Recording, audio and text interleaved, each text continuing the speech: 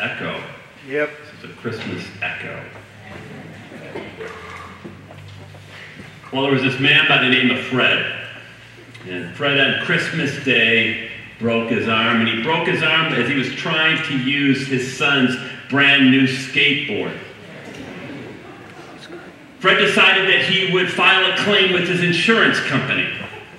Several days later, Fred received this letter back from his insurance company. It read, in part, Your claim has been denied because stupidity is a pre existing condition. I don't think Fred's the only one with that problem. But that's a whole other message.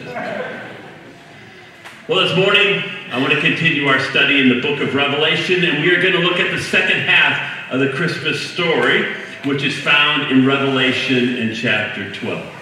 If you missed the first part of that message, you can get it back there after the service, or believe it or not, you can go to our website now if you haven't done that, and you'll find that all the messages are right there. Uh, you can just go to the website, click sermon, and you see all the sermons are listed there.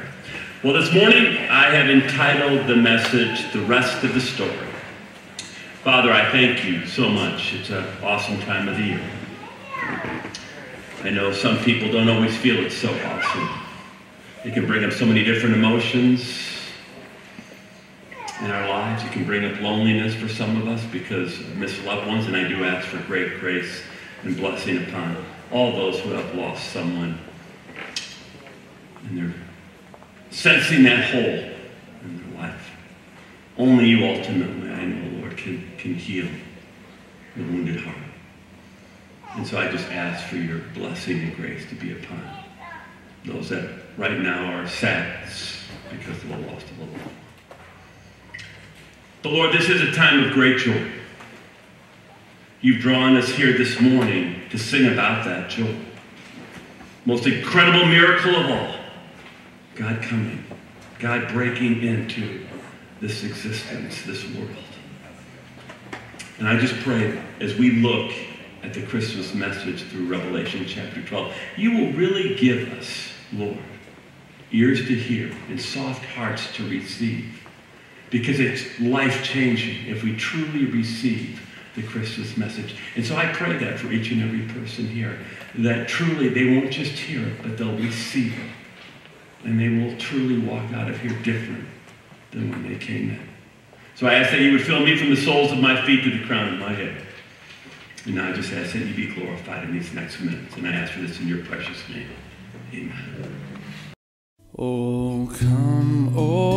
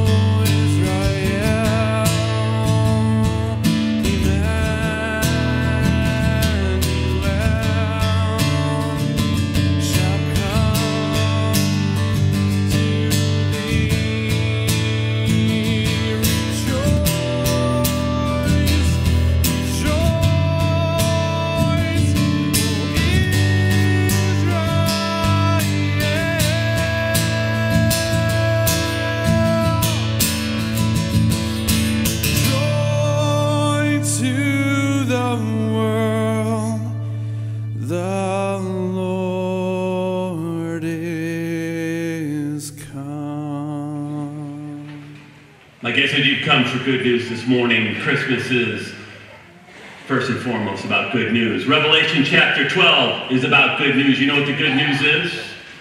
The good news is that God broke into this world 2,000 years ago in the person of Jesus Christ.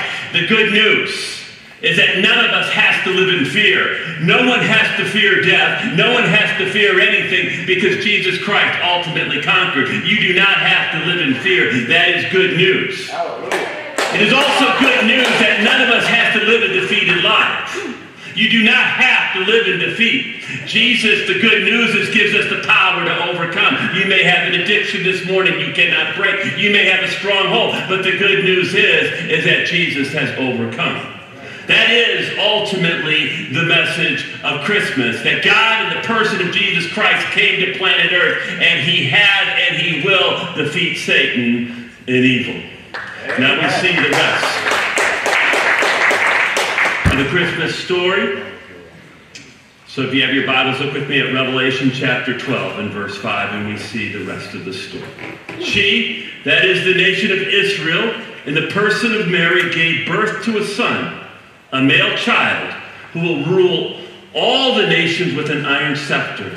And her child was snatched up to God and to his throne. Now, you know, we kind of like the first part of that verse there. She gave birth to a son 2,000 years ago in the backwater town of Bethlehem. Mary gave birth to a baby boy. Skip, can you put that picture up? Now, who doesn't like a baby, huh? Who doesn't find a baby cute? Who's not attracted to a baby? Harry Reasoner. I don't know, Skip, do you have Harry's picture? I don't remember. Harry Reasoner, some of you might be familiar with his name, but he was a commentator and a reporter with the famed CBS uh, program 60 Minutes. And many years ago, he gave a commentary at Christmas time. He entitled it The Remarkable Power of Christianity. Here is part of that commentary he read. The appearance of the Lord of the universe in the form of a helpless babe is a startling idea. It has magnificent appeal. Almost nobody has seen God, and almost nobody has any real idea of what he is like. The truth is that among the men, among men, the idea of seeing God suddenly and standing in a very bright light is not necessarily a completely comforting and appealing idea. But everyone has seen babies, and most people like them. If God wanted to be loved as well as feared, he moved correctly. If he wanted to know his people as well as rule them, he moved correctly. And if God wanted to be intimately a part of man, he moved correctly. For the experience of birth and familyhood is one of our most intimate and precious experiences. So it comes beyond logic. It is either all falsehood or it is the truest thing in the world. God, in the person of man, has such a dramatic shock towards the human heart that if it is not true, then nothing is true. So spoke Harry Reasoner on 60 Minutes. Now, what I find interesting, though, about the Christmas story, according to Revelation chapter 12 and verse 5, is this. Here's the three parts of the Christmas story according to Revelation 12 5. You have a baby born. We all like that part. We all understand that part. But the next thing we're told is that he is ascended to the throne. And that's the ascension of Jesus Christ. And then thirdly, we're told that this baby who grows into man, who ascended into the throne, who is the God man, is going to come back one day and he's going to rule with an iron scepter. Now, what seems to be missing there? We would say the guts of the story is missing. In fact, we would say the guts of the story is Jesus' life here on planet Earth. And we find that in Philippians in chapter 2. And so if you have your Bibles, look with me at Philippians chapter 2. And this is the part that's missing in Revelation chapter 12, 5. It says this Though he, Jesus, was God, so we understand from Paul, and this is one of the earliest Christian uh, pieces of scripture it's a hymn, actually. And by the way, about two years after Jesus' death, this is what the early church was confessing. It says, Though he, Jesus, was God, he did not think equality with God, that is, Jesus is in fact equal with God. He did not think it's something to cling to, something to hold on to. Instead, he gave up his divine privileges. He gave up his divine rights. How? He took the humble position of a slave and was born as a human being. When he appeared in human form, he humbled himself in obedience to God and died a criminal's death on a cross. You know, we love that part of the story. We love the part of the story we find out that God, in the person of Jesus Christ, came and he died for us. We love the idea that God sacrificed for us. That part we find very appealing. We find very attractive. You know, not too long ago, actually this past week, I read a story about a teenager who really didn't like to be with her mother in public. Nothing too unusual about that.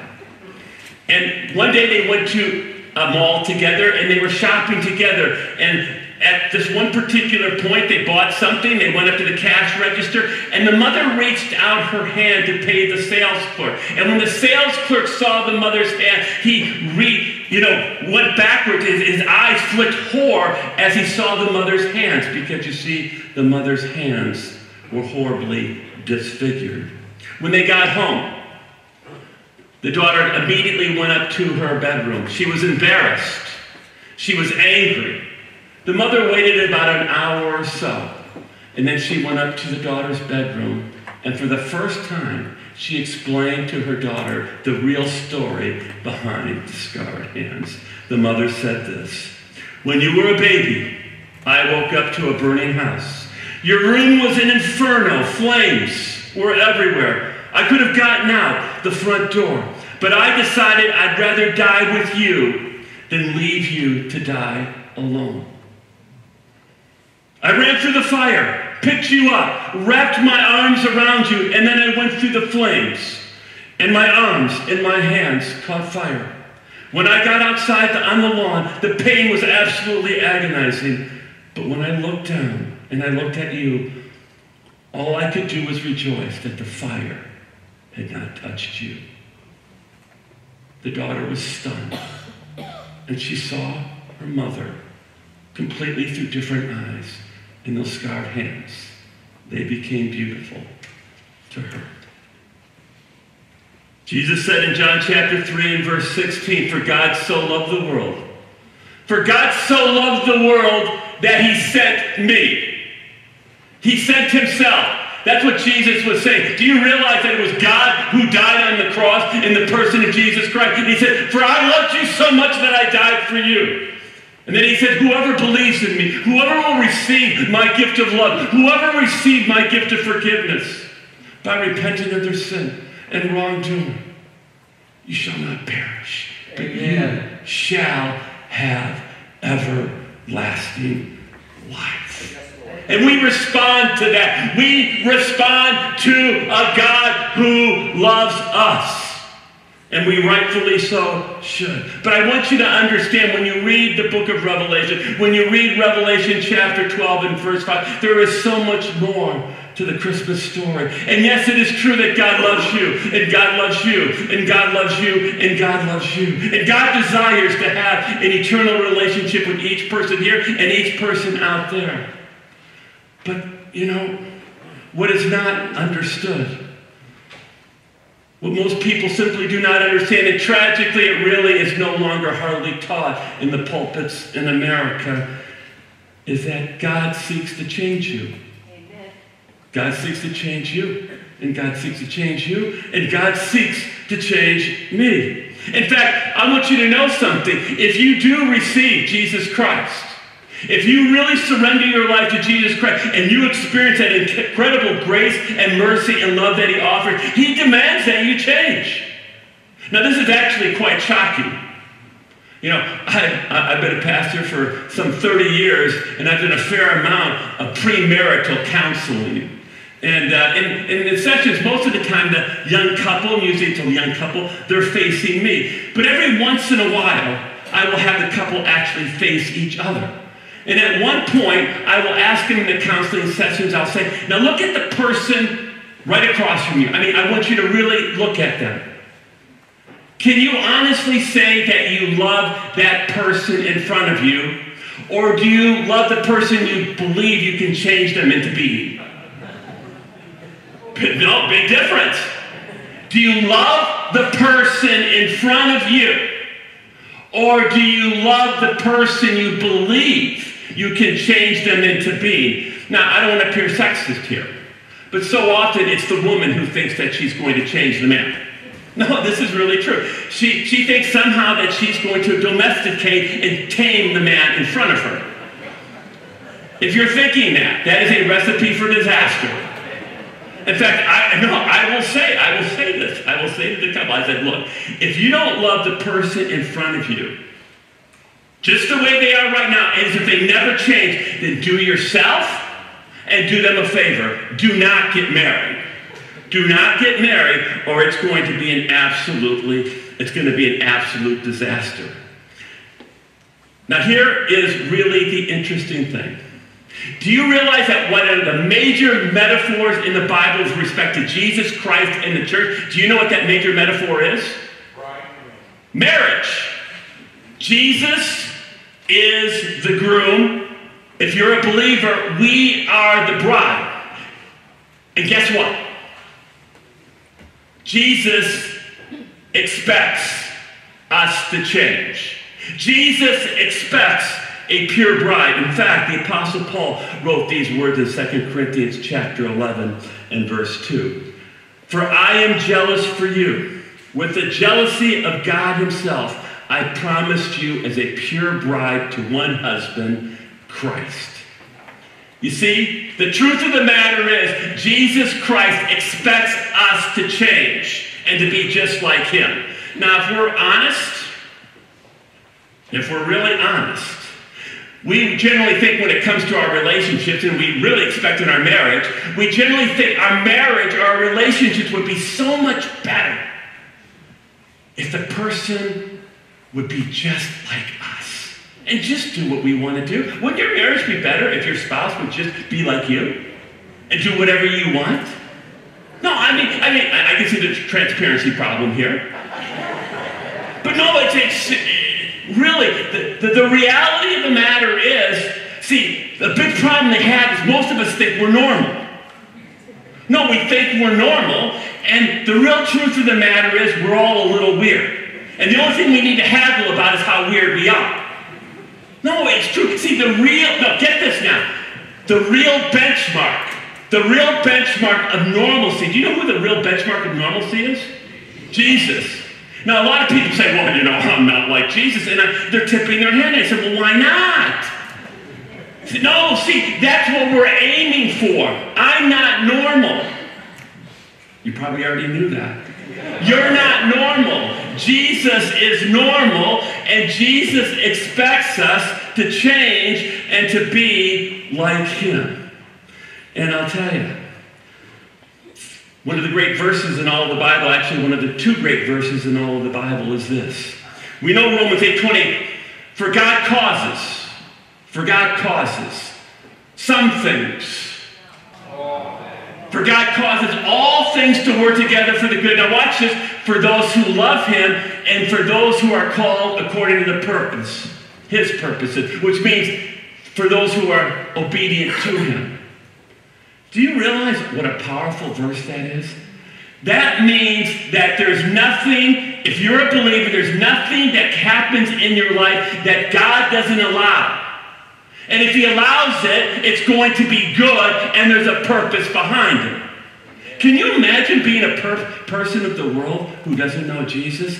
I mean, life, something happens to him, a car accident happens to him, cancer happens to him.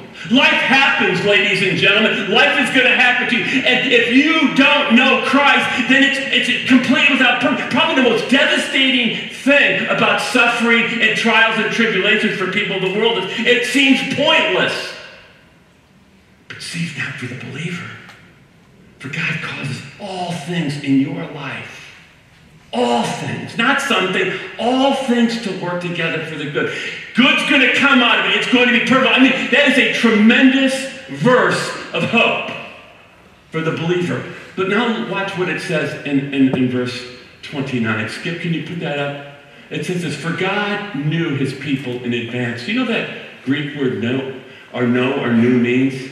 It means intimately. Do you realize that God knows you? No. God knows you. And it says that he not only knows you, it says it in the sense of loving you. He's talking now about believers. So it says, God knew you. His people in advance. He knew you in eternity past. Now watch this, and he chose you. Some of us think that we're unlovable, and in many ways we are. But even though we were unlovable, it said that God chose you. You're not an accident. It's not by accident you came to Christ. If you're in Christ, if you're a believer, it's not by accident. Do you realize it says, this is what Scripture says. It says that in eternity past, God loved you. And He chose you. And He chose you. And He chose you. And now watch what it says. And He chose them to become like Frank. And he chose them to become like my spouse. No, it says he chose us to become like Jesus. He chose us to look like Jesus. God expects us to change and to be like Jesus, plain and simple. Earlier, I read to you Philippians chapter 2 and verses 6 through 8. Now, watch this. Here's Philippians chapter 2, verses 9 through 11. Skip, can you put that up? Therefore, God elevated him, that's Jesus, to the. So, God the Father elevates Jesus to the highest place of honor, and he gave him, Jesus, a name that is above every other name, that at the name of Jesus, every knee, every knee should bow and will bow in heaven and on earth and under the earth, and every tongue will confess that Jesus Christ is Lord to the glory of God the Father. This matches up with Revelation chapter 12 and verse 5. In Revelation chapter 12 and verse 5, it says that when Jesus Christ comes back, he will rule with an iron scepter. He will rule with an iron rod. This confuses a lot of people because they're not quite understanding. This doesn't seem like the loving Jesus, but it is a loving Jesus because what these verses are trying to tell each one of us is that when Jesus Christ comes back, all people, believer, unbeliever, all angels, good angels, evil, evil angels, everything, everything in this universe will ultimately surrender and conform to Jesus' way, and it's going to either be willingly or unwillingly. And you say, well, why is it? I'll tell you why it is because Jesus is perfect. No, the Christmas story is not just about a baby. Yes, it's about a baby. The baby grows up to be the God man. He is perfect in all his ways, and you can improve upon perfection. And that's why ultimately everything must be conformed to him. He is the King of kings and the Lord of lords. That is what the Christmas story about. Not just the baby, but it's about the baby growing up and being the King of kings and the Lord of lords, and he will rule ultimately. And you will conform to him. You will surrender to him, either willingly or unwillingly. W.C. Fields. Skip, can you put up his picture? Many of you are probably familiar with W.C. Fields. He's an older guy. He was a great comedian, comic in years gone by. Made a lot of people laugh. But you know what's interesting about W.C. Fields? He wasn't a happy man himself. In fact, he drank heavily from the bottle. He was an alcoholic. And here's the interesting part of the story of W.C. Fields. Most people don't know this part of the story. W.C. Fields spent, spent the last three to four years of his life in Los Encinas Sanato- Sanatorium. That is absolutely true. And he was dying of cirrhosis of the liver there at the young age of 66 years old. The last couple of weeks of his life, he was bedridden. And he read basically just one book. Does anybody know what that book was? The Bible. W.C. Fields never read the Bible in his lifetime. But the last two weeks of his life, he was reading the Bible and was amazed. One of his friends came in and was absolutely astounded when he saw W.C. Fields going through the Bible. And the friend said, W.C., what are you doing? And he said, just looking for loopholes. Just looking for loopholes. That's only W.C. feels good. Revelation 12:5 tells us there are no loop- loopholes. There are absolutely no loopholes. Everything, everything, whether you like it or not, this is what Revelation is about. This is what the Christmas story is about. Everything ultimately will surrender and be conformed to Jesus Christ because he is the King of Kings and the Lord of Lords. So I just want to give us a challenge now. Here's the challenge. The challenge is this. In Revelation chapter 12 and verse 5, we see that Jesus first starts out as a baby. And that's a great part of the Christmas story, and that's the part of the story that most of us celebrate. I mean, people get excited, like I said. We just love little babies. But Revelation 12:5 says, really, the real Christmas story is that it's about God coming to this planet. Do you realize that God one day is going to come back to the planet in the person of Jesus Christ, and He is going to rule? He is going to rule it- with an iron scepter. He is going to be the King of kings and the Lord of lords. It's going to be his way or the highway. So here are the two options you have, because this is really what Christmas is about. Christmas is about me, Frank Wray, you. In the end, it's an individual decision.